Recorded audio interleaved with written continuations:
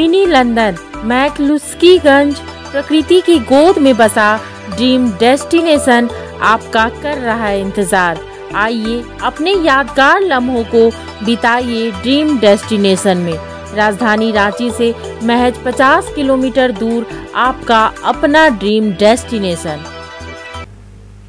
राजद के प्रदेश उपाध्यक्ष श्यामदास सिंह यादव ने रामगढ़ विधानसभा उपचुनाव में कांग्रेस प्रत्याशी बजरंग महतो के समर्थन में लोगों से वोट की अपील की है। श्यामदास सिंह ने कई क्षेत्रों में जाकर महागठबंधन की सरकार के कामकाज को लेकर जनता में बताया है। जिंदाबाद जिंदाबाद। तेजस्वी जिंदाबाद। जिंदाबाद जिंदाबाद। जिंदाबाद। महागठबंधन जिंदाबाद।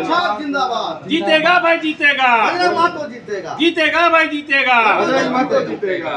जिंदाबाद जीतेगा भाई जीतेगा प्रसाद जिंदाबाद जिंदाबाद जिंदाबाद जिंदाबाद जिंदाबाद जिंदाबाद इम्तियाज़ वासी जिंदाबाद जिंदाबाद जिंदाबाद अंसारी जिंदाबाद भाई जिंदाबाद जिंदाबाद जिंदाबाद जिंदाबाद जिंदाबाद जिंदाबाद जिंदाबाद जिंदाबाद जिंदाबाद जिंदाबाद जीतेगा भाई जीतेगा जीतेगा जीतेगा भाई जीतेगा झारखंड में महागठबंधन की सरकार तीन वर्ष से ज़्यादा अभी होने जा रहा है।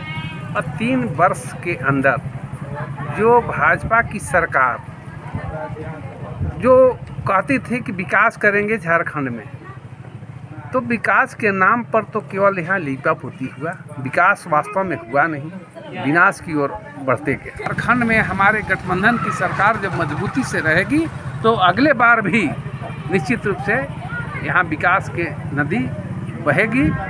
और हम सभी जनता से यही अपील करते हैं कि ये सरकार जो चल रही है हमारे गठबंधन के मुख्यमंत्री हेमंत सोरेन जी के नेतृत्व में, इसको मज़बूत करने के लिए रामगढ़ विधानसभा क्षेत्र से कांग्रेस उम्मीदवार को जिताने का काम करें और भारी से भारी मतों से अगले बार से भी ज़्यादा वोट से जितावें। अगर तीन साल में जो हेमंत सोरेन ने काम किया है, पचास हज़ार रुपया जो किसान का ऋण था, जो जमा नहीं कर पा रहे थे, आत्महत्या कर रहे थे, बैंक नोटिस दे रहा था, उसको हेमंत सोरेन ने माफ़ करने का किसानों को काम किया।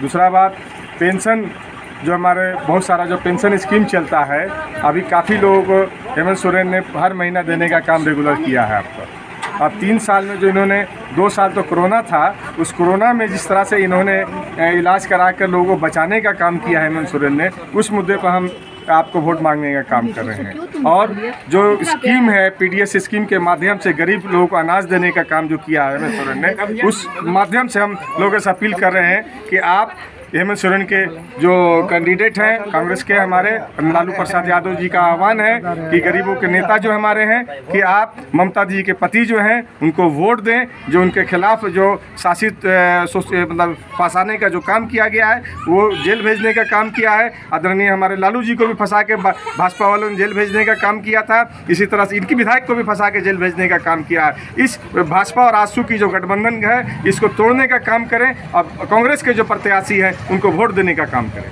विकास के मुद्दों पर वोट मांग रहे हैं, चाहे वो एजुकेशन से जुड़ा हुआ हो रोज़गार से जुड़ा हुआ हो ज़िंदगी में जो प्रॉब्लम्स आती है, उस पर जुड़ा हुआ हो। मेन है कि हम लोग पहले भी बोल चुकी हूँ, महिला हूँ तो महिला के लिए थोड़ा कंसर्न है, उनके छोटे बेबी के लिए बहुत कंसर्न हूँ, इसलिए मैं चाहूँगी कि उनको, उनके पति को वोट दिया जाए, क्योंकि ये, ममता जी जो हैं ज़्यादा एक क्या बोलिएगा?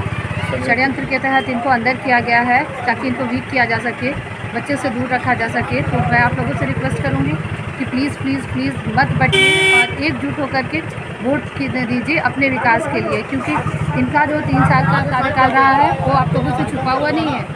वो बहुत अच्छा काम किए हैं। तो मैं चाहूँगी कि अपोजिशन के प्रलोभन देते हैं, उस पर बच जाइए और जज करके और प्लीज़ इनको वोट करिए अपने विकास के लिए, ताकि आप लोग जो रोज़मर्रा की परेशानी से है, इससे ओवरकम हो सके। जब टूटती है आस जब थकती है सांस जब रूठते हैं अपने, मुँह मोड़ता है जमाना, जब अंगड़ाई लेता है संकल्प, फिर बनती है कहानी, बनते हैं अनमिट निशान। देखिए मेरे साथ संघर्ष की दास्तान।